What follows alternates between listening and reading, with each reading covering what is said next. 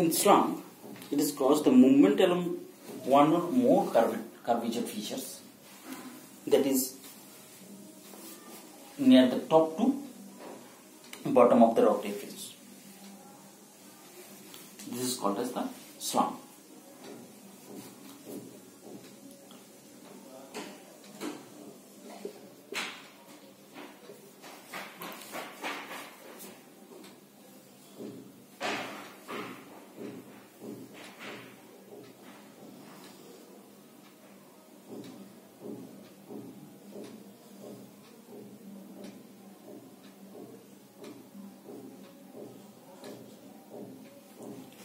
This is the rock fall.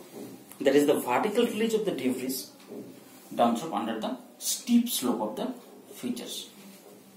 Is called the rock fall.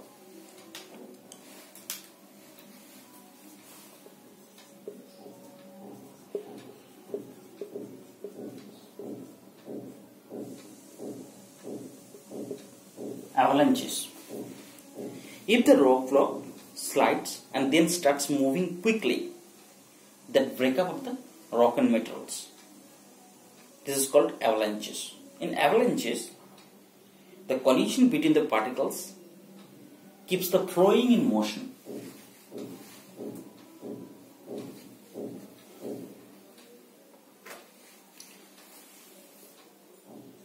Another important movement is found like debris flow.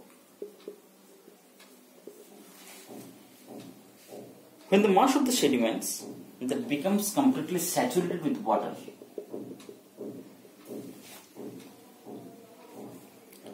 the mass that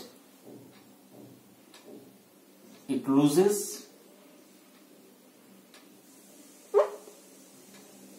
its strength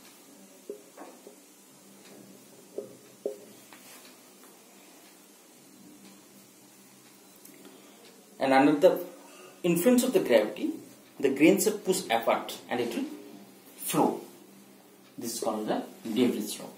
So these are some basic definition that is uh, related to the mass velocity and basic classification is given by the different geomorphologist. We'll discuss about the its importance in our next class. Thank you.